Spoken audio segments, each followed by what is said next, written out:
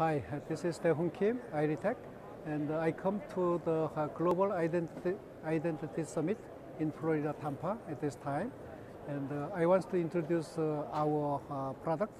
Our company is based in USA, Fairfax in Virginia. And our major product is very small iris identification camera systems installed on the mobile device and the handheld device. First is this is the smartphone.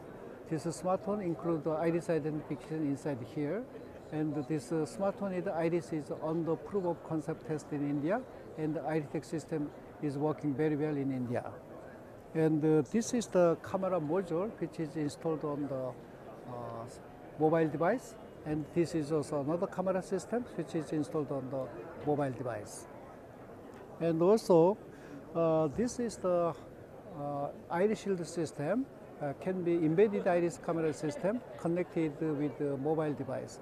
This is very actively used in the many applications in India and also in the USA government and also in Africa and many other countries. And also, this is the so, uh, iris identification installed on the wearable device, smartwatch.